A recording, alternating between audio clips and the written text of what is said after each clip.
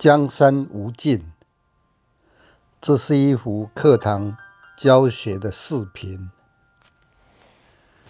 这一幅画呢，表现站在山上俯视下来观看江水。那这是属于深远的构图法。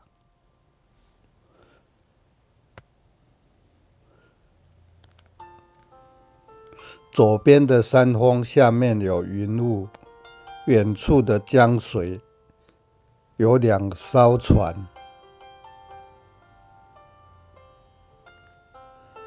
表现江山无尽的这种感觉。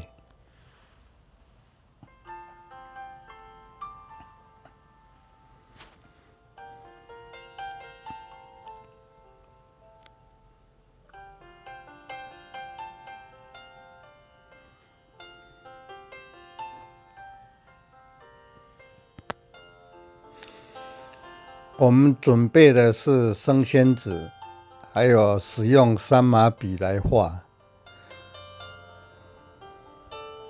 那我一向是要求一定要用磨的画，这个磨的这个墨汁来画的话，它的墨印会比较好。用墨汁除了方便以外，它的墨印并不好，而且呢。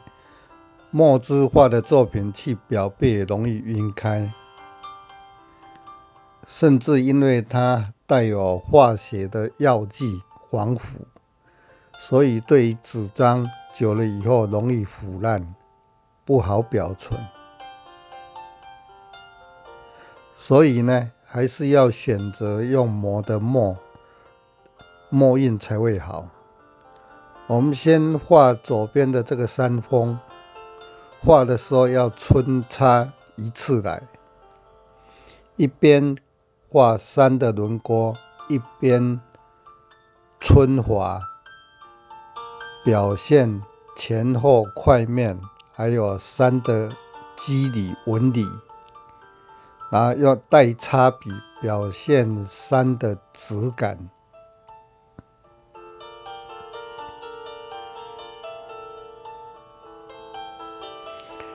那现在呢，要准备画一个山峰，比较瘦高的山峰，在这一座山的前方，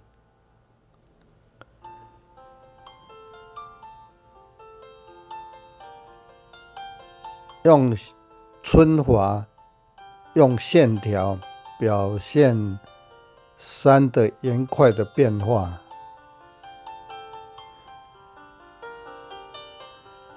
在线条的表现上呢，要有粗细、干湿、浓淡等等的这个变化。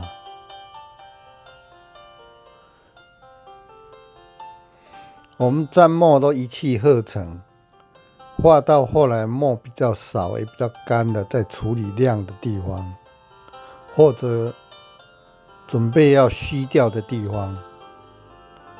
接着，我们再继续画后面的山峰。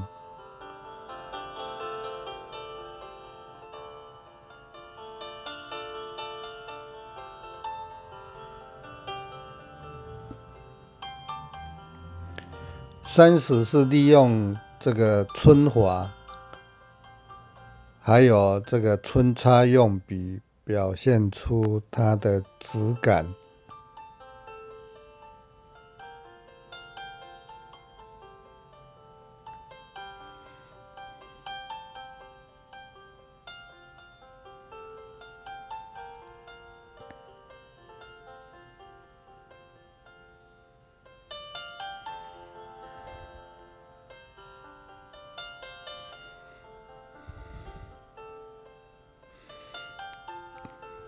接着，我们来点这个山脚下的树丛，像现在点的这个是比较属于杂木类的树丛，因为它并不是在高海拔的地方，所以可以配一些树杂木类。因为下面就是江水，再来再补一些杉木跟松树。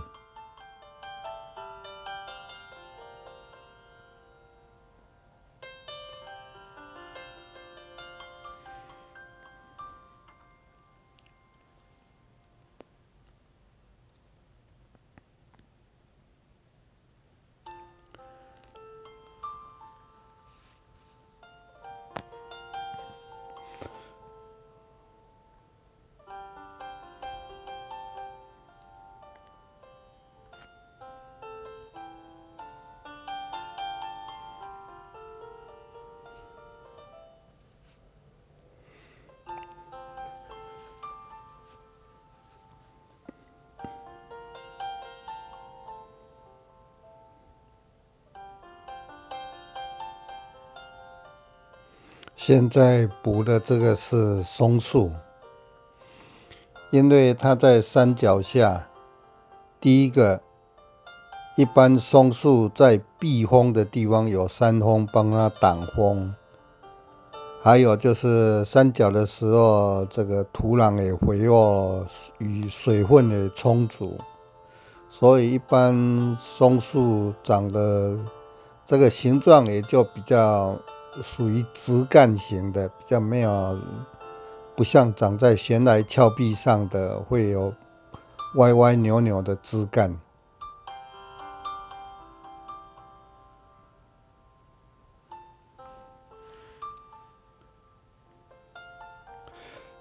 这个有一点像台湾高山的这个圆柏，长在山谷。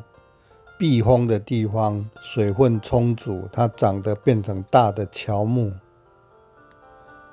长在这个迎风面或山峰连线，就变成这个匍匐在地面的歪歪扭扭的这个转折变化很丰富的这个矮低矮的树干。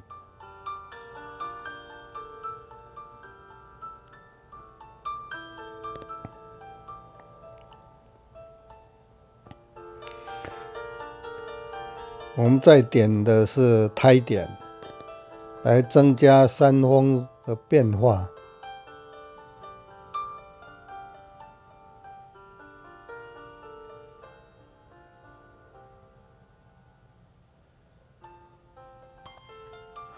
因为在原始的山峰上，水分也比较少，所以顶多是生长一些比较低矮的树木。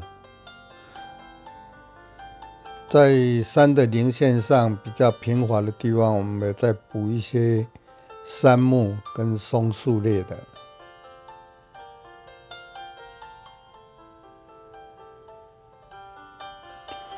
因为山高，所以我们树不要画太大，才能够表现它高远的感觉。现在再来补。这个云雾中的第二层的树树丛，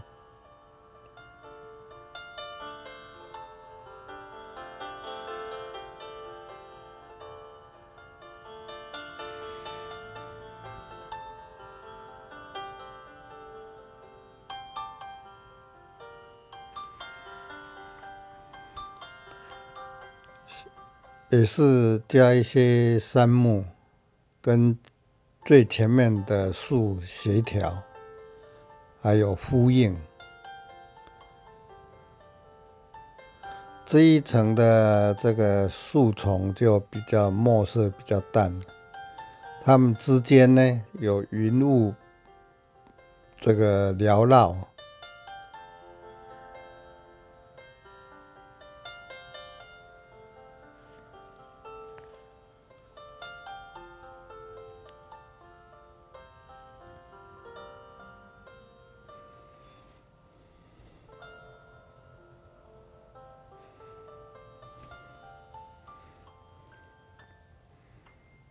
这个在比较远的地方，我们再加一些树丛。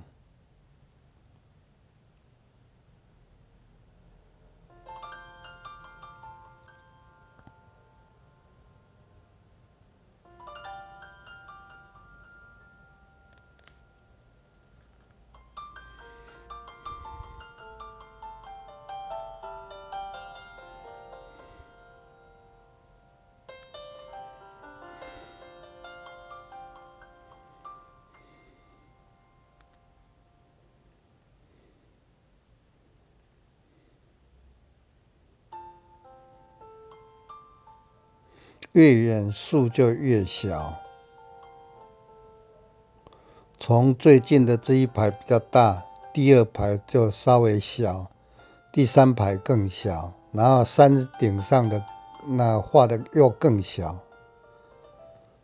这样就能够表现远近这个层次跟空间出来。现在加的是江边的这个是这个岸边。啊，江岸跟这个沙洲的意思。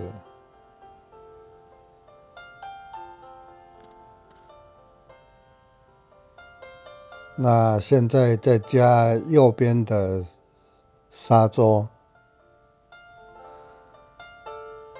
把江水的范围留出来。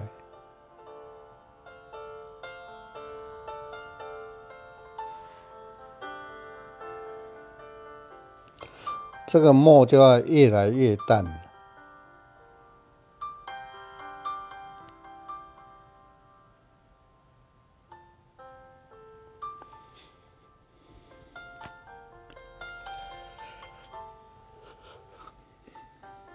现在画更远的远山，然后下面有云雾。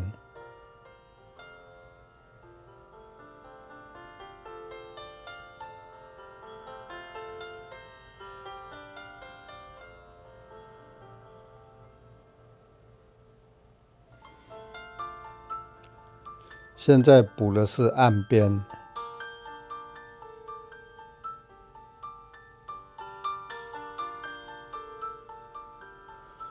岸边跟山峰之间，这个有个云雾。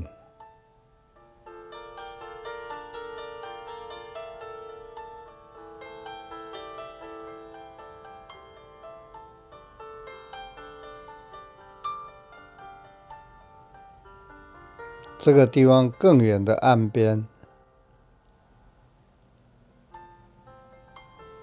可以把这这个江水让它蜿蜒推得更远，表现出江山无尽的感觉。然后我们就用的侧笔来画出两艘船，简约的用写意的方式来表达。写意画就是要抓出形神兼具的感觉，这个就是局部特写的这个两艘船，就是有那种那个船的那个神韵啊，不一定要很写实的画出来。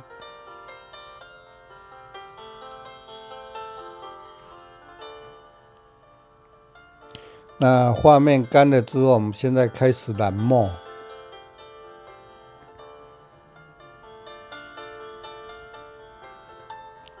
染墨分出明暗，这样才能够表现立体感。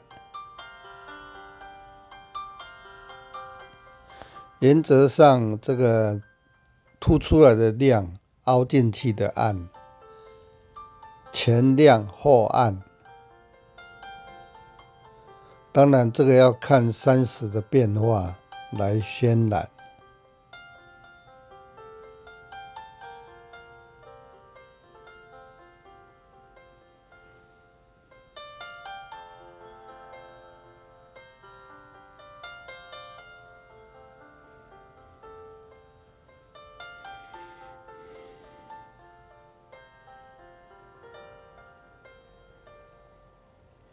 底下云雾的地方就是要留出来。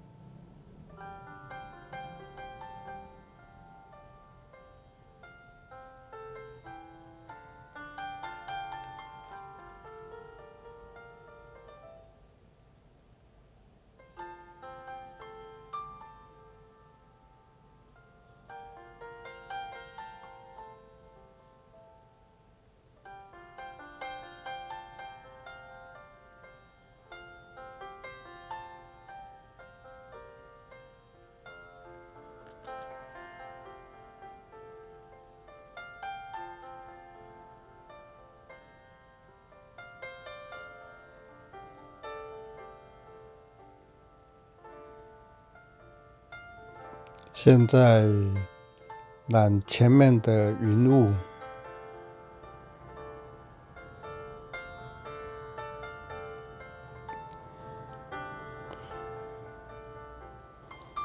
在山脚下有一些云雾，表示我们现在是站在这个一个高处，然后往下俯视的构图。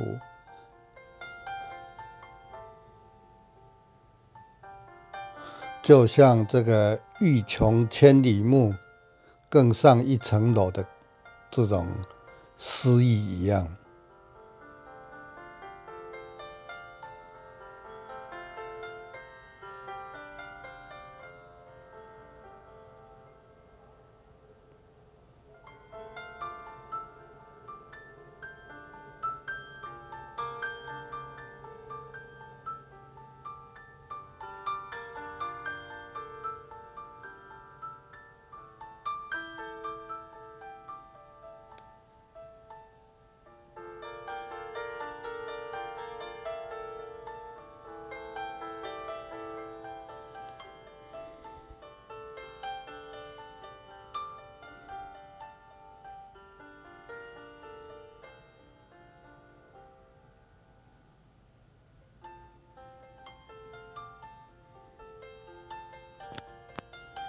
渲染要慢慢整理，要小心收拾。